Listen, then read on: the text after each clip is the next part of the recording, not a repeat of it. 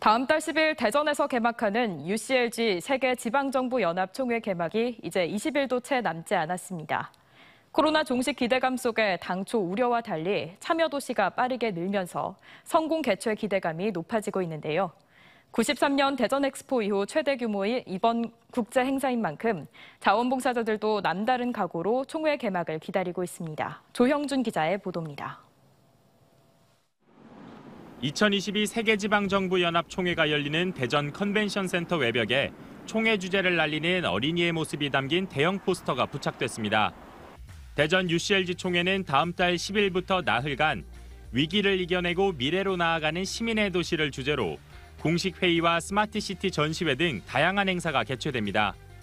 총회 개막 준비가 순조롭게 진행되는 가운데 해외 참여 국가는 100개국을 넘겼습니다.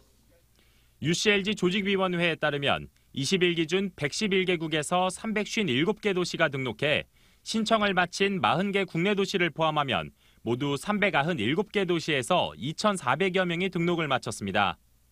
중국의 코로나 봉쇄와 러시아 우크라이나 전쟁 여파로 당초 목표한 1,000개 도시에는 못 미치지만 33개국, 60개 도시만 등록했던 지난달 초에 비하면 참가국은 4배, 참여 도시는 6배 이상 늘었습니다.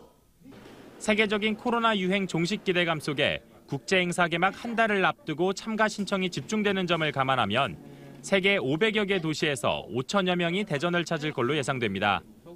통상적으로 국제 행사는 한 달 전부터 참가 신청이 많이 늘어나고 있는 그런 추세에 비추어서 저희들이 열심히 하면 목표를 달성할 수 있지 않을까 이렇게 생각을 하고 있습니다.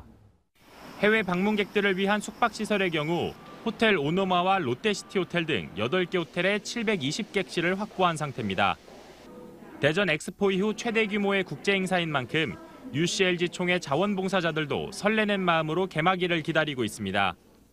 각국에서 오신 손님들, 참가자들이 아무런 불편 없이 행사에만 전념할 수 있도록 그렇게 열과 성의를 다해서 제가 봉사를 할 수 있는 그런 사람이 되고 싶습니다.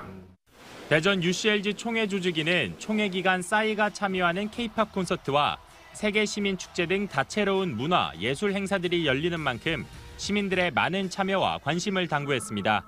TJB 조형준입니다.